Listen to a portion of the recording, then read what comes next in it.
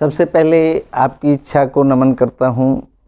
जो आपके अंदर बैठी इच्छा है, उसको नमन करता हूँ और आपका धन्यवाद करता हूँ। आज का प्रश्न बड़ा ही सुंदर है, बड़ा ही अच्छा है। उसमें मेरा भाई, मेरे रिश्तेदार, मेरे दोस्त, मेरी सहायता टाइम पर नहीं करते हैं। तो उसके बारे में चंद्रपुर से, महाराष्ट्र से एक प्रश्न आया है।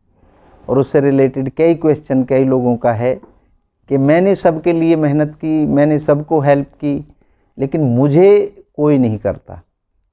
वो इसलिए नहीं करते क्योंकि आपकी इच्छा है उस काम को करने की, उनकी इच्छा दूसरा काम करने की है। और अगर आपके लिए दूसरा व्यक्ति आपकी इच्छा में काम करे तो उसके लिए आपको बहुत ज़्यादा इंतज़ार करना पड़ता है और उनके हिसाब से अपनी इच्छा को डाइवर्ट करना पड़ता है। इसलिए आप अपनी इच्छा को पूर्ण करना चाहते हैं। उनका जो प्रश्न है, वो जो करना चाहते हैं, वो एक फ़ंक्शन है उनकी शादी का, बिटिया की शादी का। और उसमें उन्होंने एक्सपीरियंस लिया कि किसी ने उनकी सहायता नहीं की। अब मैं आपको बताता हूँ। एक छोटी सी कहानी के माध्यम से आप समझने का प्रयास करें। एक सारस का जोड़ा था। सारस एक पक्षी होता है। और उसका जोड़ा उसने अंडे एक किसान के खेत में दिए। अब किसान की फ़सल पकने लगी और उसके अंडे भी तैयार होकर के बच्चे निकल गए उसमें से। लेकिन बच्चे इतने बड़े नहीं हो पाए थे और फ़सल पककर तैयार हो गई थी। और बच्चे अभी इतने बड़े नहीं हो पाए थे कि वो उड़ सकें। तो बड़ी चिंता होने लगी सारस को कि फ़सल पकने लगी है और कभी भी कटाई हो सकती है, बच्चे मेरे उड़ नहीं पाते तो मैं क्या करूँ?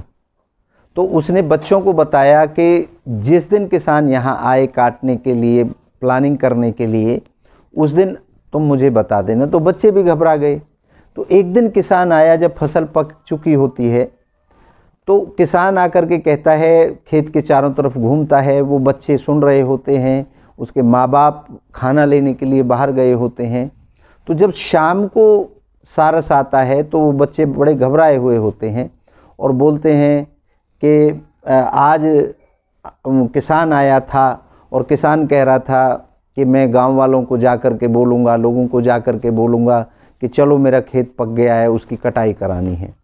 तो सारस ने बच्चों को बताया कि अभी आपको घबराने की ज़रूरत नहीं है, अभी कटाई नहीं होगी।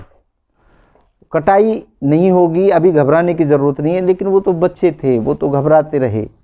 पाँच सात दिन निकल गए, लेकिन कोई भी फ़सल काटने के लिए नहीं आया। फिर पाँच सात दिन बाद किसान फिर से आया और किसान ने बोला कि गाँव वाले तो बड़े ख़राब लोग हैं, कोई आता ही नहीं हेल्प करने के लिए।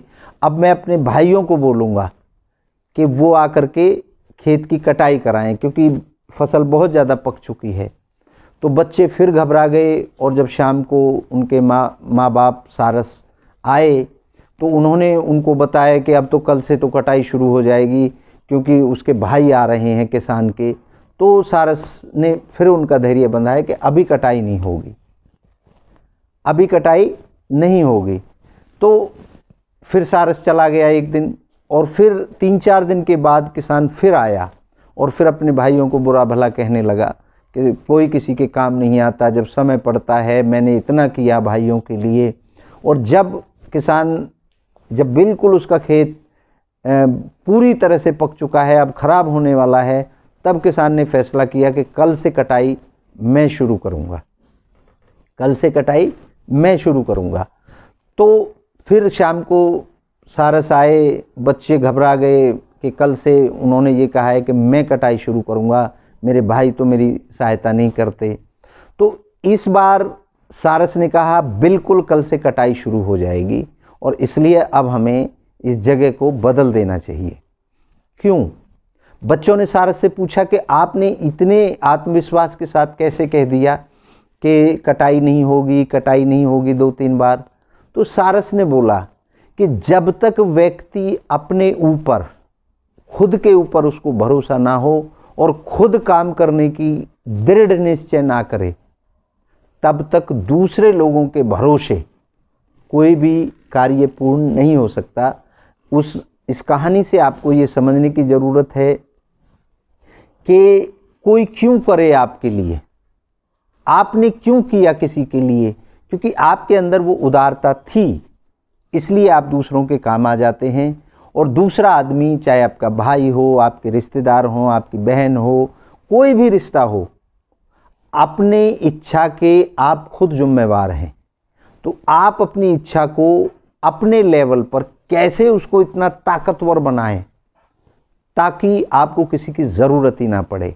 बल्कि लोग ऐसी परिस्थिति आप पैदा कर दें कि लोग खुद कहें कि इस कार्य में हमारे लिए कोई काम बताइए। तो आपके प्रश्न का उत्तर यही है और आप सबके प्रश्न का भी उत्तर यही है कि अपना जो इच्छा है, आपकी जो इच्छा है, उसको आपने पूर्ण करना है। अपनी इच्छा के लिए आप ये कभी ना समझें कि आपके रिश्तेदार, आपके गाँव वाले, आपके और जितने भी नियर डियर हैं, वो आपकी हेल्प करेंगे। आपकी हेल्प आप खुद करेंगे और जिस दिन आपने इस इच्छा को प्रबल कर लिया और उस इच्छा को कैसे प्रबल करते हैं, उसके तरीके, उसके छोटे छोटे शिविर हमारे यहाँ लगाए जाते हैं आश्रम के अंदर। आप भी वो ट्रिक सीख सकते हैं कि अपनी इच्छा को इतना ताकतवर कैसे बनाएँ ताकि आपको दूसरों की हेल्प की ज़रूरत ना पड़े। तो आज के लिए मैं आपसे अभी विदा लेता हूँ। आपका बहुत बहुत धन्यवाद।